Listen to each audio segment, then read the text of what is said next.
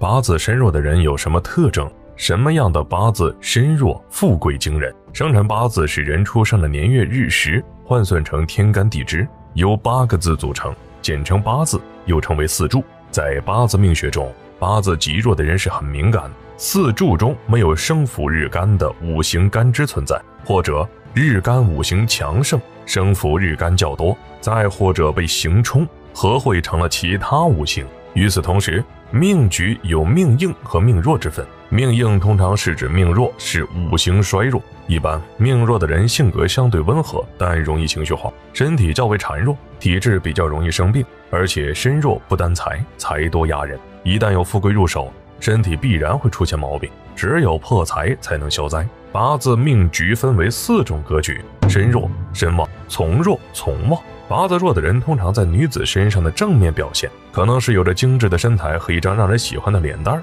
他们表面看起来体态婀娜、轻盈柔弱，楚楚可怜，所以异性关系很好。事实上，这样的人更容易获得别人的关心和照顾。而负面的表现则是体弱多病、骨骼弯曲等。他们心理防线相对较弱，会因为面对金钱或者感情上甜言蜜语的诱惑，难以抵挡异性的追求。在男子身上，正面表现是面目清秀俊朗，为人处事圆融，但是缺乏贵人的帮助，很难从别人那里得到认可。负面的表现和女子的差不多，因为能帮助他们的贵人少之又少，所以八字过弱的人需要更加敏感和积极。八字弱的人给人的感觉就气场较弱。一般付出较多，但时运被动，不同于八字旺的人的豪爽大方。他们相对而言一生起伏较大，波折较多，在情感方面会比较感性，必定付出，不在意后果。这类人很容易被感动，心理防线低，也愿意回报对方的付出。虽然挣到的钱基本无福享用，但是婚姻一般也比较顺遂。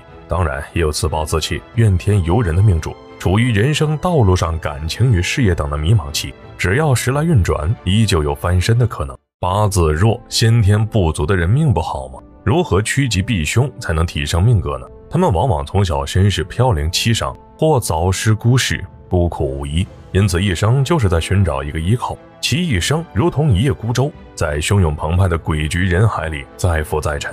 好在大部分人对于各种复杂环境的适应能力很强，受到贵人的提拔或时势的引导后，也能步步高升。其实八字过弱只是自身八字的一种状态，只要行运能助其所从之事，便可以改善体质虚弱、福寿不齐等先天不足。久而久之，这类人也能周旋于恶劣局势中而应付自如。因此，八字过弱和八字过旺一样，无所谓好坏。上天对待万物，常在不公平中显现出来其公平性。推测命局的好坏时，不能一概而论，关键是要看偏弱或者过旺的八字和八字中的神煞、流年等其他信息的作用关系。随着大运流年不断的变化，命局中某种五行的气势产生的影响也不同。因此，单纯通过八字强弱这一点判断命局好坏是武断且片面的。八字过弱的人，求财方面颇为艰难。个人能力也常受到限制。如果一生多贵人和助力，也能够成就大事。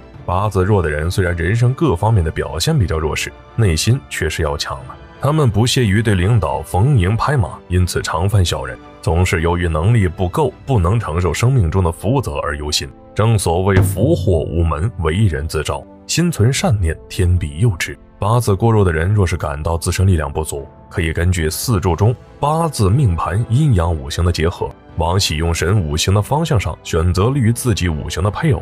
生辰八字论命是一门很深的学问，根据喜用神改一个能够代表用神五行的某个汉字为名字，也可以改善自身运势，或者多穿喜用神五行所属之颜色的衣服饰品，久而久之也能为自己招来不错的财运。很多古代的八字书中都说到。财旺身弱，不屋贫人。这句话在生活中，身弱的人选择与喜用神五行颜色一致的用具，且不贪非分之财，不走偏激之路，多食用喜用神属性的食物等。假如行运在于顺境的话，必然会财源广进，帮助五行平衡。八字过弱的人如何增强自身财运呢？若是你赚钱的欲望非常强烈，野心特别大，但是却感到自身力量不足，可以寻求别人的支持。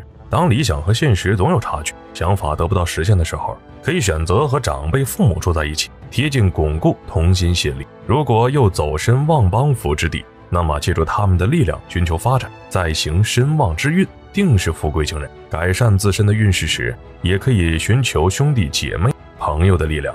逢流年好的时候，也许能小赚一笔。总而言之，和朋友或同事合作，可以避免使你堕入到某种物欲之中，难以自拔。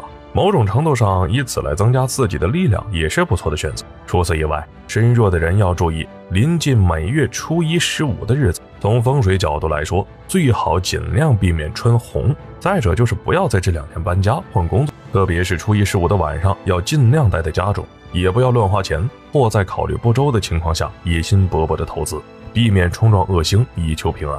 如果心里越来越焦虑郁闷，可以采用佩戴木质或水晶饰品，采取五行调理通关的方式进行化解，或是选择三合、六合的属相生肖吉祥物佩戴。值得一提的是，如果你的朋友或亲戚是财多身弱之人，又没有走在旺运的话，也会对你的运势有所波及。可以随身携带一小块雷击木，人们认为雷击木是上天雷电劈开的辟邪法物，对我们日常生活的虚妄有极大的震慑作用。同样也可以作为住宅的镇宅法物。八字过弱的人通常身体素质不太好，多与雷公、电母、风沙、灵体的信息残留接触，就不会被清风野鬼、狐黄长蟒之类的低级精灵近身。其中众多雷击木之中，首选雷击枣木、桃木，银杏树次之。